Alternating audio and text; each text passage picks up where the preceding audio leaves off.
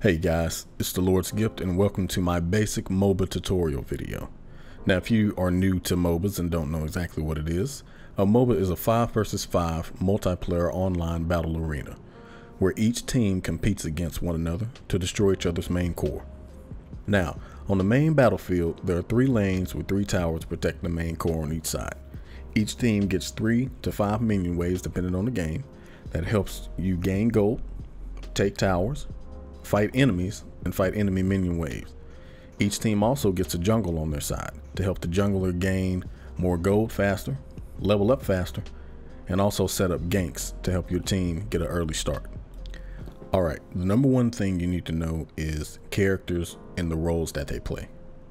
Marksmen are ADCs, they're the main physical damage output. Mages are main magical damage output. Warriors are mid damage output, mid defense. Tanks are the main defense of your team. Assassins are the main source of cleanup and ability damage.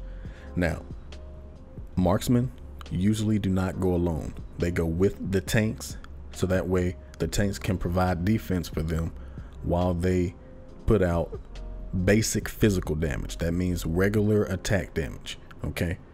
Mages are high on magical damage, magical ability damage. All right. They usually go mid lane.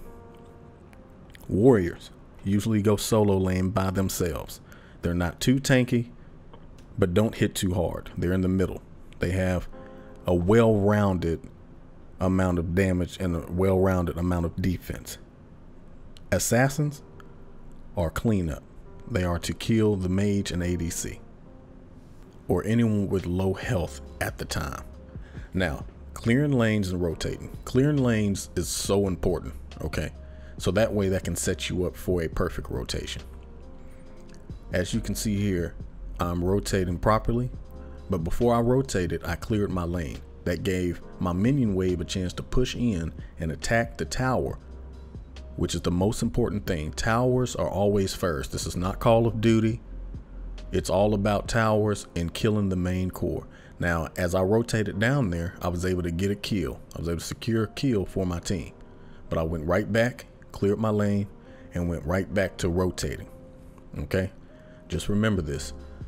Towers are the most important things, guys.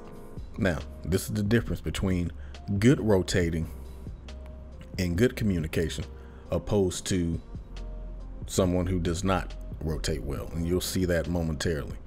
Now you see I rotated down? We had a proper kill a proper setup it is just me and one other person going against multiple people. We are really we are outmatched at the moment but we are still doing damage okay? That's the difference between rotating and not rotating. Now this this is not rotating. Do you see the person mid lane if you look on the map the mid laner did not rotate. I had to ping him because he was not doing what he was supposed to do. Now, of course, this is going to get people tilted, going to get people mad when you don't rotate and you don't communicate and you don't you don't talk with your team properly. Okay?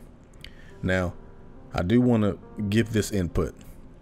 This is for every MOBA, guys. As you can see, I'm playing two different MOBAs. I'm playing a mobile one called Arena of Valor. That was the one that you saw beforehand. And this one right here is me on stream uh, on Twitch where I'm playing Smite. Okay. So it this this revolves around all MOBAs. It's the same exact things. And we'll be getting to communication momentarily because that's very, very, very important, guys. If you can't communicate with your team by simply, even if you don't have a microphone, you don't necessarily need one. They have built-in commands that help you to communicate with your team. That's literally a huge impact on what you need to do to ensure that your team is successful. Now, this is this is a great example right here of communication. I let them know I was alting. We went in. He got a kill. My my uh, teammates right there are trying to jump in and get get this ADC. Boom! I got a kill. We were in and out just by simple communications, guys. It's it's very smooth, very fun when you can play with a team that knows exactly what they're doing. Communication is number one, the most important thing out of any MOBA. All right, guys, always remember that. Please always remember that. And use distractions. This is a good one too. As you can see, I went in all crazy, but my team came in and backed me up. That's another thing you gotta you gotta remember. You gotta get in there. Never, never not join a team fight. You could be the difference in winning or losing a team fight. Okay. Um, you you definitely don't want to be the one missing. That can get you cussed at, reported, anything. You know, it, it, it definitely can. Like, for instance, take this for instance. If I would have left this team fight, this would have never happened. If he if I didn't trust that he could protect me and he didn't trust that I could deal the damage that I was supposed to deal to where we could win that two on two against the enemy, this would have never happened. I would have never sniped him down and we wouldn't have, we, we wouldn't be in a good predicament to be able to win this game. I kept tabs on the mage because I was assigned to him and he kept tabs on the solo laner who I just sniped down. That's what it means to be able to take care of and watch the person you were assigned to. If you're assigned to mid lane, you keep tabs on mid lane. That's that's literally that's your only job because if you don't, kind of like the mid laner that that we had when we died in that um, in that two on like four, this will happen. This right here, you will be defeated. You will lose, and then you're gonna get reported. Like we all reported him. We, I mean, he was the main reason that we lost. Now, of course, I don't really like reporting. I'm not really into that, but things like that happen. For instance, right here, this is what it means to have a good team. Okay. Now, I did get caught out, and that was my fault, but my team backed me up, and surprisingly, I didn't die. And I'm and I'm playing mage. I'm playing mid lane, but my team backed me up, helped me out. We were able to take this core and get the victory. Now, guys, these are just small things just to get you started. If you want me to go more in depth, I definitely will. Please let me know what you thought of this video and what I can do to improve on it.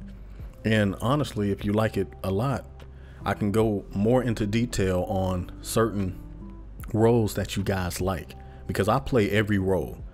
And let me just say this as a PS. Please learn how to play at least two characters in every single role, meaning you got to know how to play mage, at least two mages, two assassins, two tanks, two solo laners. That will definitely be beneficial because as soon as you start getting good at the game and you start wanting to go into ranked games, just in case they get banned when you get into the higher ranks, you want to be able to have multiple characters that you can use and not be a burden to your team. You got to remember that. Don't be a selfish player, guys. All right. And just let me know what you guys want to hear more on. Okay. Um, hit the like button, subscribe, and share if you enjoyed the video. And as always, guys, stay blessed.